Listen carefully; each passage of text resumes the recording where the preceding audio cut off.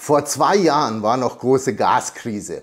Jetzt ist der Gaspreis aber wieder um 90 Prozent gefallen, obwohl die globale Gasnachfrage sehr wahrscheinlich stark steigen wird die nächsten Jahre und obwohl die Ukraine jetzt auch kein Gas mehr durchleiten will für uns aus Russland.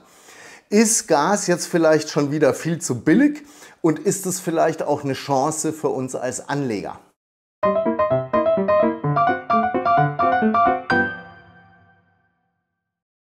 Herzlich willkommen.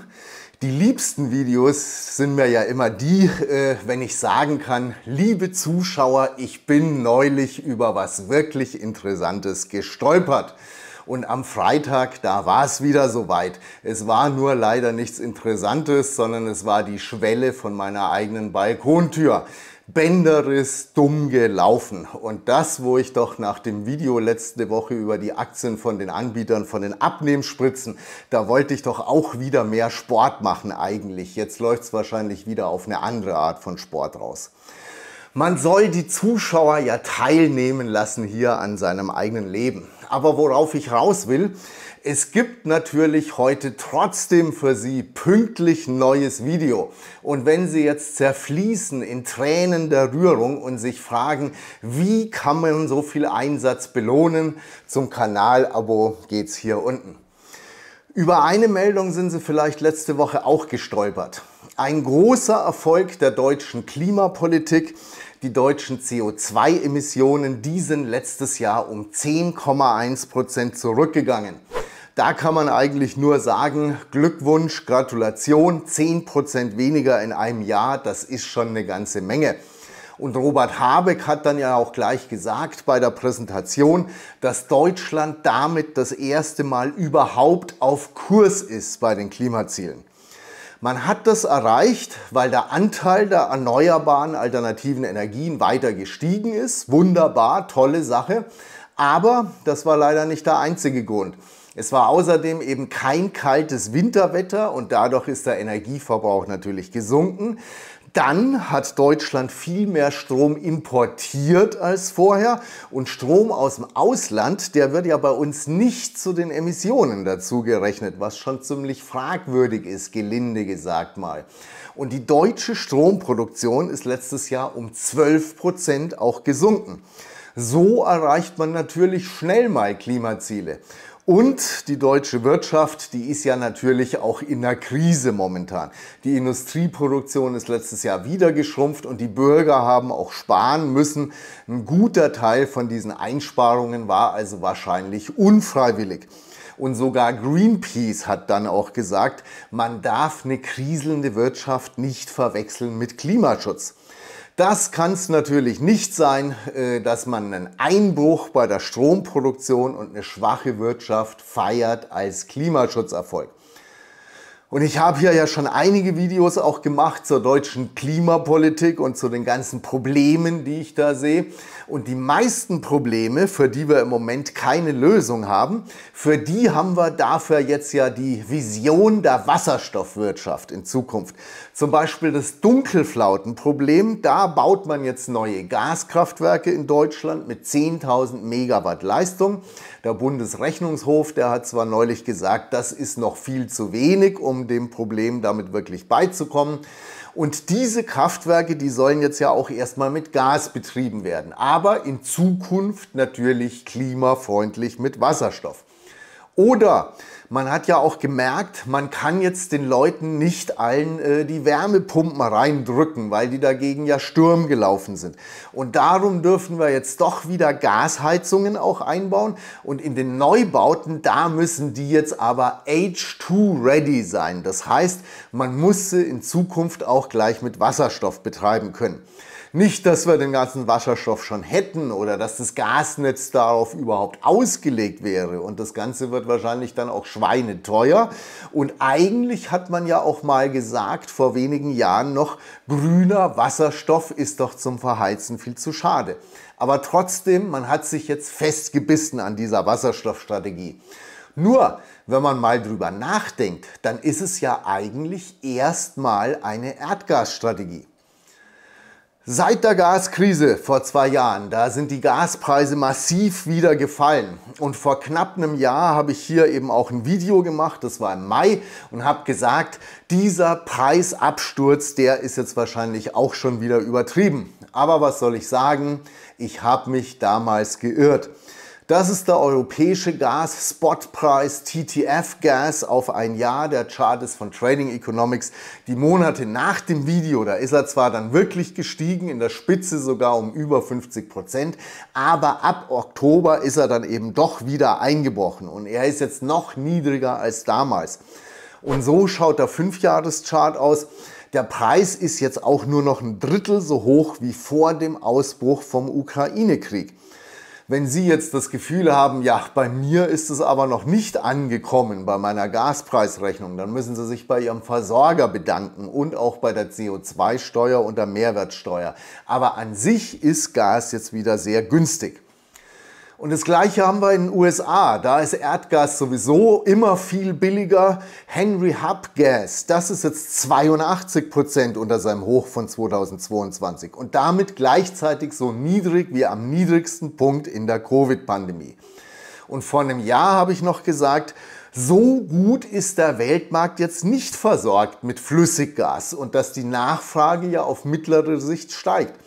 Aber was ich nicht auf dem Schirm gehabt habe und viele andere auch nicht, das war nochmal ein sehr milder Winter, den wir gehabt haben, auch in Nordamerika. Und die amerikanische Fracking-Industrie. Da sagt man zwar schon lang, noch mehr Produktion geht doch bei denen eigentlich nicht mehr. Aber sie schaffen es trotzdem immer wieder. Die Grafik hier ist von Wolf Street, die US-Gasförderung. Sie wächst immer weiter. Und obwohl auch die amerikanischen Exporte von Gas stark gestiegen sind, vor allem von Flüssiggas eben, die hohe Produktion hat trotzdem gereicht für das alles. Die Speicher sind voll in den USA, die Preise sind unten und die ganze Welt ist spitzenmäßig mit Gas versorgt. Und die nächsten Jahre kommen dann ja noch mehr Exportterminals in den USA. Und gleichzeitig will zum Beispiel auch Katar die Produktion stark hochfahren, sodass viele Analysten jetzt wirklich sagen, die nächsten Jahre wird der Weltmarkt mit Flüssiggas sogar überversorgt sein. Komplett das Gegenteil von dem, was sie vor einem Jahr noch gesagt haben. Obwohl ja aus Russland zum Beispiel Unmengen vom Gas nicht mehr auf den Markt kommen. Das ist wirklich so.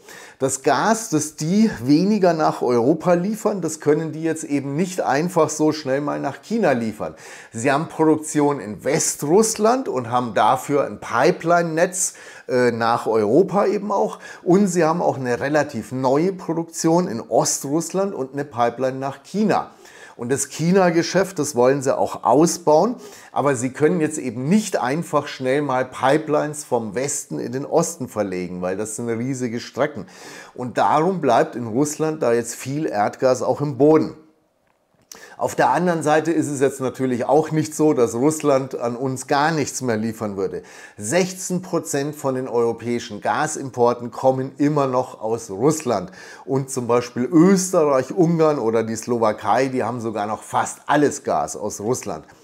Und beim Flüssiggas, da kommt auch immer mehr aus Russland, interessanterweise. Wir wollen ja unbedingt wegkommen vom russischen Pipeline-Gas, aber zum Glück gibt es eben Russland, das uns da hilft, wo es nur kann, mit seinem Flüssiggas.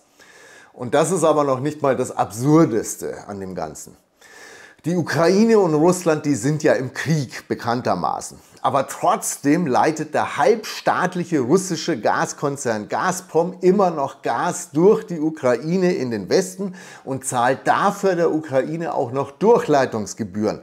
Und die Ukraine leitet dieses Gas aber auch noch durch, obwohl sie weiß, dass sie damit ja den Krieg gegen sich mitfinanziert. Vertrag ist Vertrag. Aber dieser Vertrag läuft dieses Jahr aus und die Ukraine hat auch schon gesagt, das möchte sie eigentlich nicht mehr so weitermachen. Und da muss jetzt natürlich auch die EU sagen, nein, nein, das wollen wir natürlich auch nicht weitermachen und knirscht dann mit den Zähnen. Und damit fallen aber nächstes Jahr nochmal ungefähr 30 Prozent von den russischen Gaslieferungen weg. Wir haben natürlich inzwischen die Gasterminals und auch die Gaslieferverträge entsprechend. Wir können auch dieses Gas sehr wahrscheinlich ersetzen. Dafür muss man die Ampel jetzt auch mal loben. Das darf man hier noch nicht so oft machen. Die Hälfte der Zuschauer ist jetzt wahrscheinlich eh schon weg. Aber dieses Gas, das wir da zusätzlich noch ersetzen müssen, das wird natürlich auch zusätzlich nochmal am Weltmarkt nachgefragt. Und gleichzeitig haben wir aber vor allem in Asien sowieso dauerhaft einen starken Anstieg der Gasnachfrage. Das hier ist zum Beispiel eine Prognose von Rystad Energy aus der Financial Times. Asien setzt voll auf Flüssiggas schon seit Jahren. Dann gibt es die Möglichkeit, dass sich die Wirtschaft in China eben auch wieder erholt und dass da dann die Nachfrage sogar noch stärker steigt als erwartet. Und China will jetzt auch seine Stahlproduktion umstellen von Kohle auf Erdgas. Angeblich produziert ja nur der chinesische Stahlsektor mehr CO2 als Deutschland und Großbritannien insgesamt zusammen. Wobei China jetzt natürlich auch nicht nur für sich selber Stahl produziert, sondern ja für die halbe Welt. Aber auch daran sieht man, es ist jetzt nicht unbedingt äh, sinnvoll und bringt dem Klima jetzt nicht unbedingt was, wenn man hier äh, sowas wie die Stahlindustrie verdrängt und vertreibt mit hohen Klimaschutzauflagen. Jedenfalls, das treibt natürlich die Gasnachfrage dann auch noch äh, äh, dauerhaft hoch. Und darum glaubt man zum Beispiel bei Shell, dass die globale Flüssiggasnachfrage bis 2040 nochmal um 50 Prozent steigen wird. Und bei Woodside Energy, das ist ein Öl- und Gaskonzern aus Australien, da glaubt man sogar, dass sie jetzt innerhalb von einem Jahrzehnt nochmal um 53 Prozent steigt. Und da sollte man doch meinen, dass die Gaspreise irgendwann sich auch mal wieder erholen. Hier nochmal der US-Gaspreis, diesmal auf 25 Jahre. Man sieht, er ist jetzt wieder auf den Tiefs von 2002, von 2016, von 2020 und aus charttechnischer Sicht nur mal. Da ist der Fall völlig klar. Es ist ein Niveau, auf dem wir eine langfristige Unterstützung haben und von der der Preis immer wieder dann nach oben wieder abgeprallt ist. Und fundamental kann man das Ganze vielleicht so interpretieren, dass das eben ein Preis ist, wo vielleicht doch so eine Art Schmerzgrenze mal erreicht ist für die Produzenten und wo sich das Angebot dann vielleicht eben doch irgendwann mal wieder verknappt.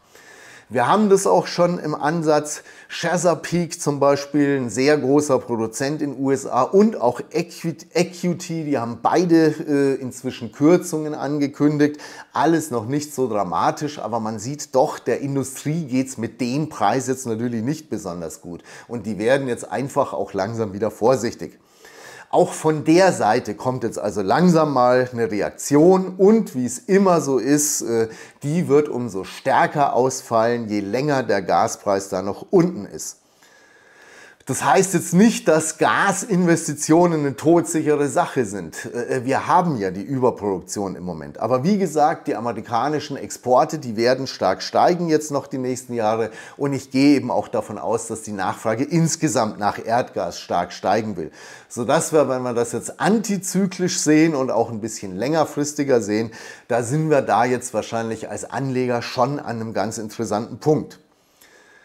Wie investiert man da? Man kann natürlich direkt in den Gaspreis investieren. Es gibt da die tollsten ETCs und Mini-Long und Mini-Short-Instrumente und Hebelzertifikate. Damit sollte man sich natürlich auch ein bisschen auskennen dann. Und der normale Langfrist-Investor, der wird das wahrscheinlich eher mit Aktien machen. Chesapeake eben zum Beispiel. Inzwischen ein sehr großer US-Gasproduzent und immer noch profitabel bei den Preisen jetzt. Die Aktie hat natürlich korrigiert die letzten ein, zwei Jahre.